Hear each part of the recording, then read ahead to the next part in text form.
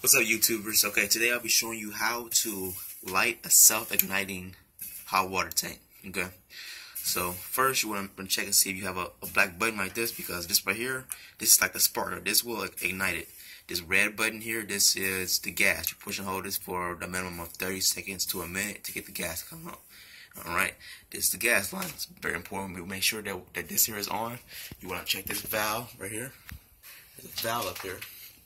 Right here you check this, you make sure it's on, and then if you if, if, if you even, even then if you don't think that it's gonna still run, if you're not sure your gas is on, if at the at the end right here, if you twist this, I'm not gonna do that right now. I don't want to smell gas. If you twist this and then you, you leave it halfway on, you should hear something seeping out of it. If you hear something seeping out of it, then your gas is on. If you don't, you might want to contact your local gas company. All right. So anyway, let's let's get into it. So first, you push and hold this right here for about wait but um, first thing first put this on vacation. This is the temperature knob make sure it's on vacation.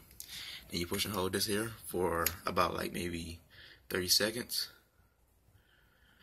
And you want to push it while pushing this. Kind of need my hand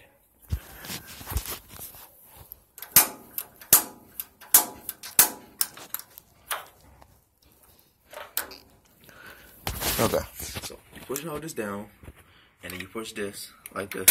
You gotta do this like simultaneously. You're gonna need two hands. Okay. And you wanna look into this window here. Let me. Um, you want to make sure that you can see a flame, a small amount of flame. You can't really see it. There is a flame in there. You can't see it because my light is on. But you want to make sure that there's a small amount of flame into it. And once that small amount of flame is on, you go ahead and switch from pilot to on and you turn your vacation to however you want it, warm, hot, or whatever temperature you like it. Alright, so all that explains how you do it.